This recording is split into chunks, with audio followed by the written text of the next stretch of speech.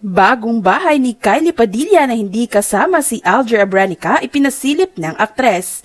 Ngayong araw ibinahagi ni Kylie sa kanyang social media account ang bagong bahay na lilipatan nilang mag-ina. Sa caption ni Kylie ay sinabi nitong, Our new place is almost ready for my boys and I to move in and I'm so excited. But of course, I have to make sure that our new furniture is clean and sanitized.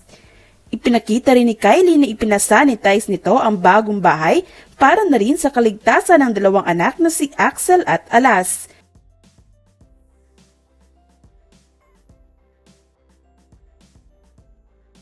It's coming true, my dream home. Ito ang ibinahagi rin ni Kylie kasama ang plano ng kanilang bagong bahay. Kapansin-pansin rin na ngayong hiwalay na sila ni Alger ay nagbabalik alindog si Kylie. Samantala, nagsalita na si Cindy Miranda sa pagkakaugnay nito sa leading man na si Alger Abranica. I'm not the third party. Thanks. Ito ang naging pagtanggi ng aktres na si Cindy Miranda tungkol sa hiwalayang Alger Abranica at Kylie Padilla.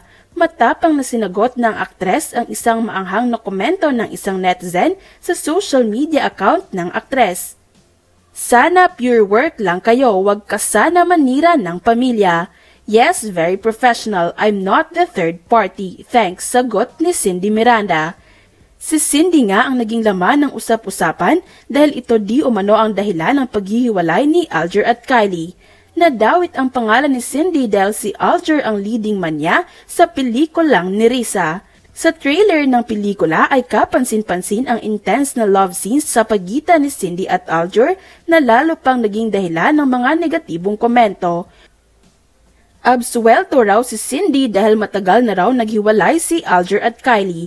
Hiwalay na raw ang dalawa bago pa mag-umpisa ang shooting ng kanilang pelikula kaya biktima raw si Cindy dahil hindi naman talaga siya ang third party na tinutukoy ni Robin.